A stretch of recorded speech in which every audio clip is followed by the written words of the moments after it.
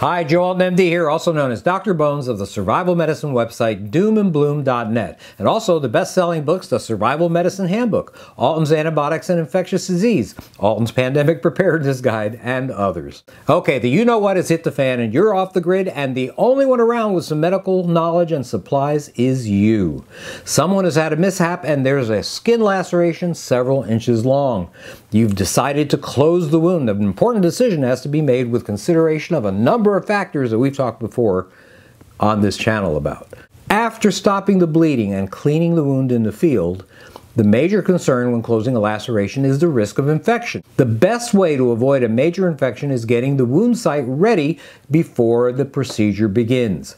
You've got bacteria on your skin that's part of the ecosystem that is, well, you. It's supposed to be there, but it's not supposed to be under the skin, where the same bacteria could cause a life-threatening infection. Cleaning the wound and prepping the skin removes as many bacteria as possible through shaving if needed, washing, disinfecting, and draping the area you're going to be working on. It won't be as effective as you'll see in a modern operating room, but it'll help. In the field, you should flush the wound vigorously with clean drinking water or normal saline solution through an irrigation syringe if you have it.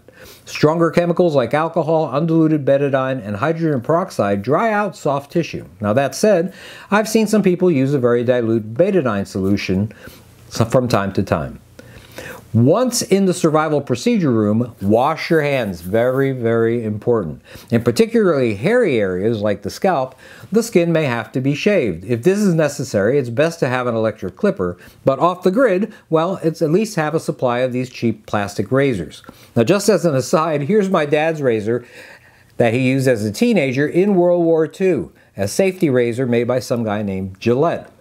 And this is my grandfather's razor that his dad gave him when he came of age a hundred years ago. Anyway, loose hair is wiped off after shaving and the skin is then washed with something like Hibiclens skin cleanser or when that runs out, soap and water. Once you've rinsed and wiped that dry, it's time to put on antiseptic prep. Skin prep solutions used on laceration injuries may be a povidone iodine solution like betadine, chlorhexidine like Hibiclens, or even rubbing alcohol if that's all that's left. There are a number of ways to prep the skin off the grid. You can use wipes or swab sticks like these for small lacerations, or you can use sterile gauze on an instrument for larger wounds.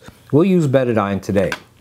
Hi, Nurse Amy here. I just want to do the second part of this video and we're going to prep our patient today. I have went ahead and poured some of that betadine prep that Dr. Alton was talking about into this bowl. We've opened up our gauze. I have an instrument so we don't have to touch the patient directly and we're going to put on some clean gloves. So just do that. Make sure that you wash your hands before you put gloves on. Super important. You want to wash between every step. If you don't have soap and water, make sure you use some hand sanitizer. We're going to go ahead and pick the gauze up with our instrument. And we're going to dip it in the betadine. And we're going to start on one edge right here and we're going to do three circles without going back and fixing any part in case you miss it, and ever widening areas. Now if this was a thigh or a large area, skin area, definitely want to do three. But if it's smaller, we probably could get away with two because this is a larger gauze. But we're going to do this three times. If you find there's an area that you didn't cover on the first or second time, do not go back and fix it. That is a dirty gauze. So one time around, a little bit wider. And then just for show and tell, we're gonna do an even wider circle. There we go, discard.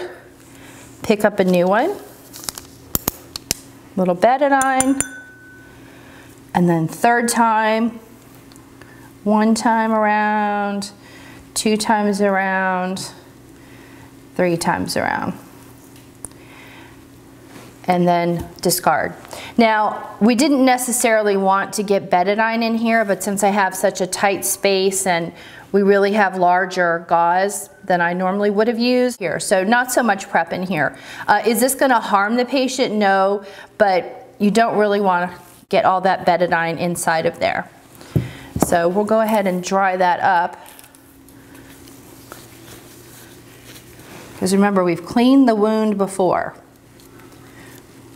We don't need to clean inside. We'll dry that up so we'll be able to see the tissues when we go to suture. Okay, so after you've prepped the patient, you remove your clean gloves, pinch the palm, put that glove inside of here, and you've made like a little trash can. And then just throw that off of your table. You're gonna throw this much further off. I'm just showing you discarding because I wanted to go ahead and get that betadine on.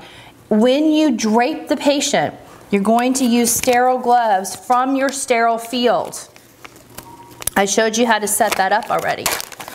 So we're going to open the sterile gloves. This would be on your sterile field, not by the patient. So just imagine, remember where we set those up. They open up like a book.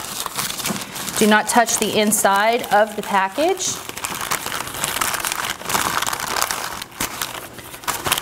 Pick up one with the cuff, put your hands in it, adjust your fingers. Do not touch the inside of the glove. I have not touched the inside of the glove. Let go.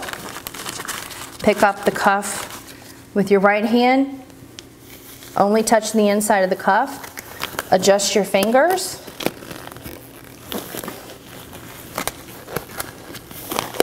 And then pull it on.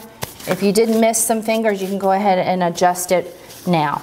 What we want to do is pick up our sterile drapes. I can touch the inside of this package and discard that because these gloves are sterile.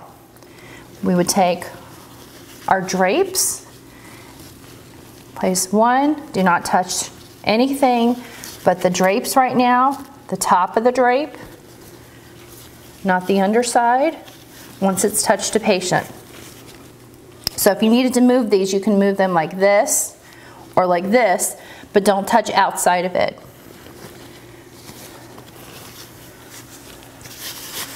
We can also do this. We have a nice squared off area where we only see the laceration. The drape that comes with the suture kit, you can actually place that on top so you have a little bit more of a working space. And when I showed you how to set up the sterile area, you'll see that I had cut the drape a little bit bigger so it would fit this kind of laceration. So you would put that on. And that's it. Again, taking gloves, pinch the palm once you are done suturing. Pick this one up, never touching the inside. This is the garbage, and that's it. Okay, you're prepped. This is Nurse Amy. Thank you so much, and now give you back to Dr. Alton.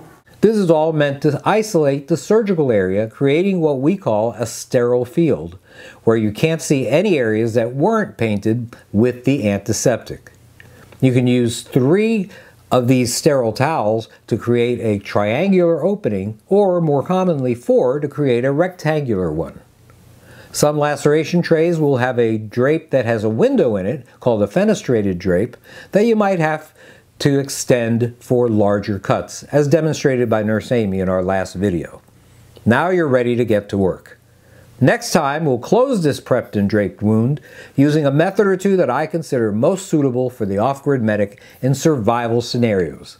This is Joe MD, that old Dr. Bones, wishing you the best of health and good times or bad. Thanks for watching.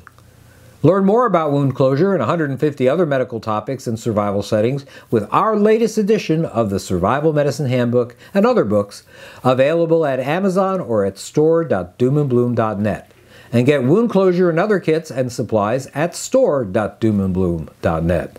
Thanks again. Hey, if you don't have a good medical or dental kit, I know where you can find one. Just check out Nurse Amy's entire line at store.doomandbloom.net. You'll be glad you did.